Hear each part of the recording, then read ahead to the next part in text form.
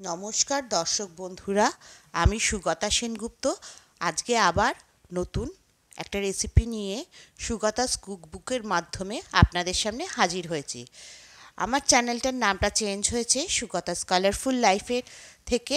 আমি সুগতাস কুকবুক নামে চ্যানেলটিকে নতুনভাবে নামকরণ করেছি। আজকে যেই রেসিপিটি আমি করব, এটা আমি আগ, বেঁচে যাওয়া, আগের দিনের বেঁচে যাওয়া ভাতের ভাত দিয়ে করছি। আপনারাও এইভাবে করে দেখবেন।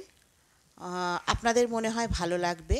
আজকে আমি করছি chicken prawn sausage in garlic butter rice.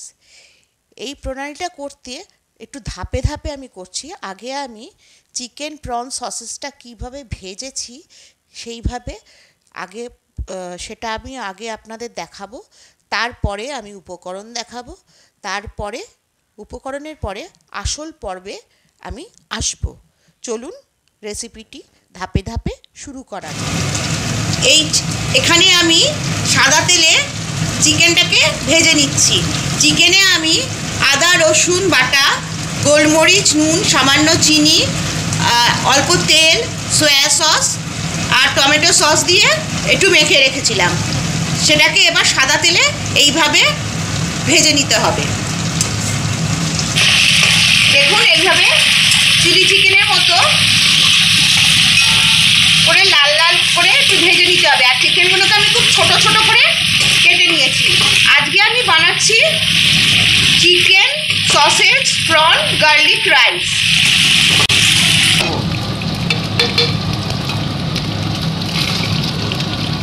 চিকেনটা ভাজার পর ওই একইভাবে প্রনটাকে আমি ম্যারিনেট করে রেখেছিলাম, প্রন আর সসেসটাকে পেঁয়াজ, আদা, রসুন, সয়া সস, একটু নুন, মিষ্টি, ভিনিগার দিয়ে ম্যারিনেট করেছিলাম। আর ভাজার সময় একটু কর্নফ্লাওয়ার, হালকা কর্নফ্লাওয়ার ছড়িয়ে এটাকে আমি ভাজতে দিচ্ছি। এরপর আমি সসেসগুলো দিয়ে দেবো। সসেসগুলোকে আমি টুকরো টুকরো করে কেটে নিয়েছি। সসেসের পাশ দিয়েই প্রনগুলো দিয়ে দিচ্ছি। এই একই সাথে তাহলে আমার ভাজা হয়ে যাবে। দেখুন প্রন আর সসেসটা একসঙ্গে ভেজে নিচ্ছি। Sausage edit ready to eat থাকে বলে খুব একটা ভাজার দরকার হয় না। মোটামুটি একটু লাল প্রনের মতো লাল লাল ভাজা হয়ে গেলে দুটোকে তুলে নিতে হবে। এবার আমি সসেস আর ভাজা প্রনটা এবার আমি তুলে নেব। Chicken sausage garlic butter rice করতে আমার লাগবে। এখানে আছে আমার সাড়ে সাতশো গ্রামের মতো সেদ্ধ করা ভাত।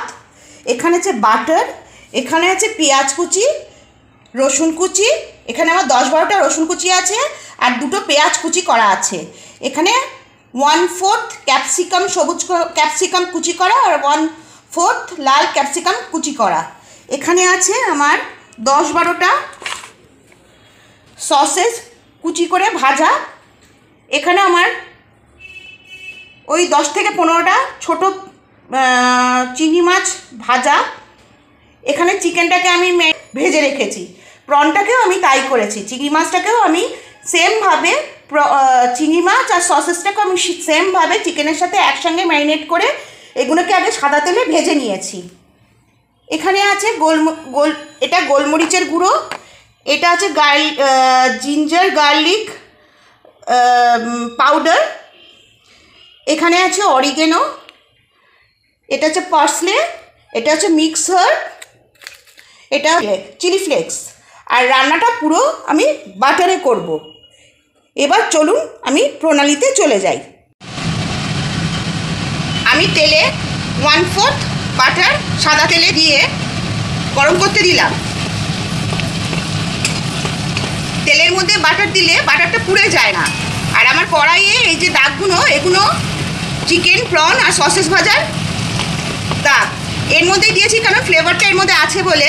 হাতে আরও ভালোভাবে যাতে ফ্লেভারটা মিশে যায়, সেই জন্যই আমি কড়াইটা না ধুয়ে সেম কড়াইয়ে তেল দিয়ে বাটার দিয়ে করছি। এর মধ্যে রসুন কুচি, পেঁয়াজ কুচি দিয়ে ভাজতে থাকব।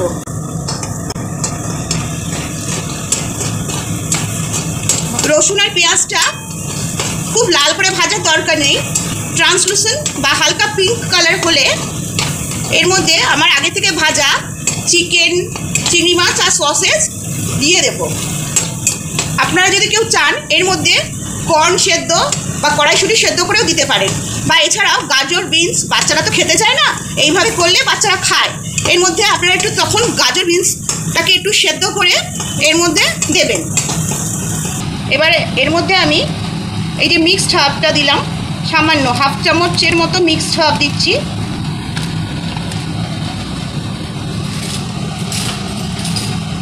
আপনাদের সুবিধার্থের জন্য দেখিয়ে দিচ্ছি। এটা হচ্ছে টিস্পুন এই টিস্পুনের হাফ চামচ অরিগ্যানো। এই যে দেখুন, অরিগ্যানো। এটা পাসলি সরি, এটা পাসলি দিচ্ছি। এগুলো সব বাটারের মধ্যেই দেবেন, তাতে গন্ধটা ভালো আসে। এই আবার টিস্পুনের হাফ টিস্পুন। অরি, এই যে দেখুন, অরিগ্যানো। অরিগ্যানোটা দিচ্ছি। দিয়ে একটু ভাজা ভাজা করব বাটারে। বাটারে এই হাফগুলো ভাজলে একটা সুন্দর গন্ধ বেরোয়। এবার ভাজতে ভাজতে আমি এই, আমার দু রকম কালারের ক্যাপসিকাম কাটা আছে। ক্যাপসিকাম কুচিটা দিয়ে দিলাম। দিয়ে একটু নাড়াতে থাকব।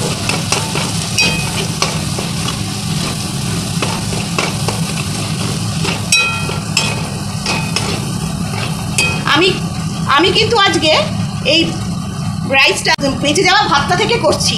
আপনারা রাইস দিয়ে, বাসমতি রাইস দিয়ে সেদ্ধ করে, আগের থেকে সেদ্ধ করে এটা করলে তার টেস্ট আরও ভালো হবে।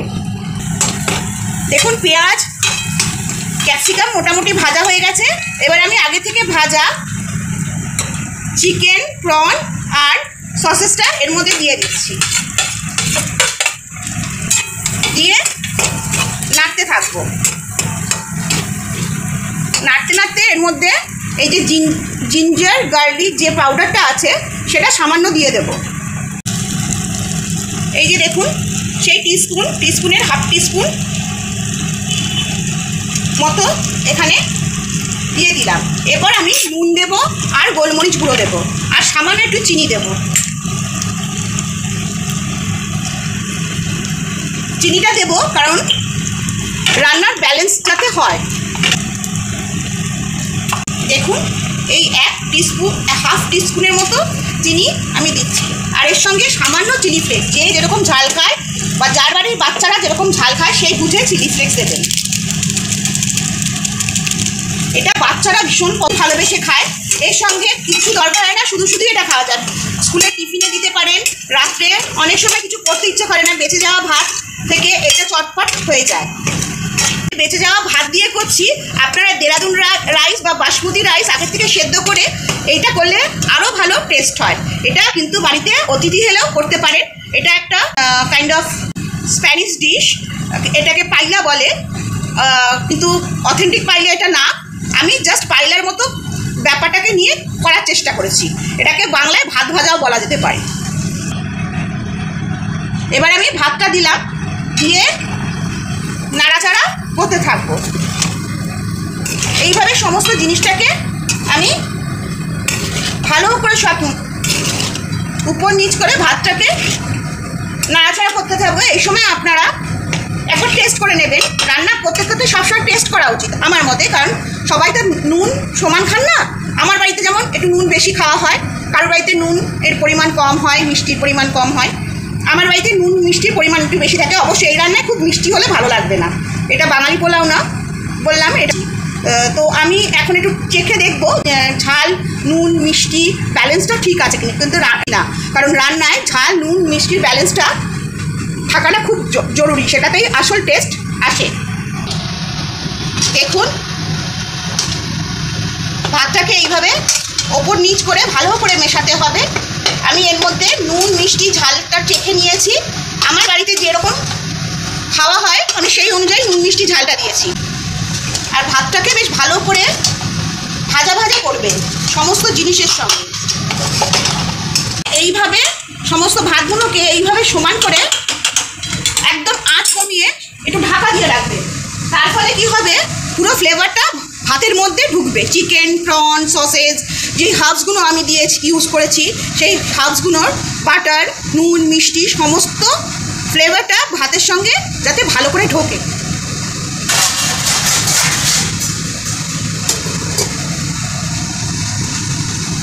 আচ্ছা আপনারা দিতে চাইবেন অবশ্যই যে এই হাবসগুলো আমি কোথা থেকে কিনেছি? এই হাবসগুলো এইটা যেমন আমি অনলাইন পারচেস করেছি গ্রফার্স বা বিগ বাস্কেট যে কোনো ইয়েতে অনলাইন সব আজকাল পাওয়া যায়, এগুলো সার্চ করলেই পেয়ে যাবেন। আর এইগুলো আমি গড়িহাট বেসমেন্টে বাজারটি আছে, সেখানে অনেক দোকান আছে, ছোট ছোট দোকান আছে, সেখানে এই এইগুলো এই প্যাকেটগুলো অনায়াসে আপনারা পেয়ে যাবেন। এগুলোর দামও খুব একটা বেশি না, ওই ধরুন পনেরো থেকে কুড়ি টাকার মধ্যে হয়। অবশ্যই একটু ডেট ডেটটা দেখে কিনবেন, কারণ এগুলো এক্সপায়ারি ডেটের এক্সপায়ারি ডেট পার হয়ে গেলে ইউজ না করাই ভালো। তিন মিনিট পর আমি ঢাকা খুলে এর মধ্যে একটু ধনে পাতা কুচি ছড়িয়ে দেব। আপনারা ভাবতে পারেন এর মধ্যে ধনে পাতার গন্ধ কেমন লাগবে। খুবই ভালো লাগে। যারা ধনে পাতা খান না, তারা দেবেন না। কিন্তু যারা ধনে পাতা খান, তারা একবার আমার রিকোয়েস্টটা দিয়ে দেখবেন।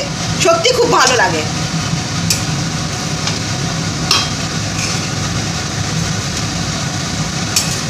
আর এই রাইসটা কিন্তু খুব বেশি ঝাল করবেন না। এই ধরনের রাইসগুলো খুব বেশি ঝাল হয় না। কারণ এগুলো তো আমাদের ইন্ডিয়ান প্রিপারেশন না। আমি মোটামুটি ইন্ডিয়ান আমাদের মতো করে একটু করে নিয়েছি। ওরা অলিভ অয়েলে করে এই রান্নাটা। আমি এখানে সাদা তেল দিয়েছি। আমি যখন দেরাদুন বা বাসমতি চাল দিয়ে করি, তখন আমি অলিভ অয়েলেই করি। অলিভ অয়েলের সঙ্গে বাটার মিশিয়ে করি। প্রসেসটা একই থাকবে, শুধু সাদা তেলের জায়গায় অলিভ অয়েল দেবেন আর চালের জায়গায় জেরাদিন বা বাস, বাসমতি যেটা আপনাদের পছন্দ, সেই ধরনের চাল দিয়ে করতে পারেন। আর একই প্রসেসে জিনিসটা করবেন। আর যারা কর্ন খেতে ভালোবাসেন কর্নটা দিয়ে দেবেন। কর্ন বা কড়াইশুঁটি দিলেও খুব ভালো লাগে। এবার আমি এতে ঢেলে নিচ্ছি। তৈরি হয়ে গেল আমার chicken prawn sausage butter rice দর্শক বন্ধুরা আমার এই রেসিপিটি যদি আপনাদের ভালো লাগে, এক কমেন্টের মাধ্যমে জানাবেন, তাহলে আমার খুব ভালো লাগবে। আপনারা এইভাবে একবার করে দেখবেন। আমার মনে হয় আপনাদেরও ভালো লাগবে। সকালের বেঁচে যাওয়া ভাত বা রাতের বেঁচে যাওয়া ভাত দিয়ে এইভাবে সমস্ত ইনগ্রিডিয়েন্টস যদি জোগাড় থাকে আপনাদের কাছে, করতে বেশিক্ষণ সময় লাগবে না।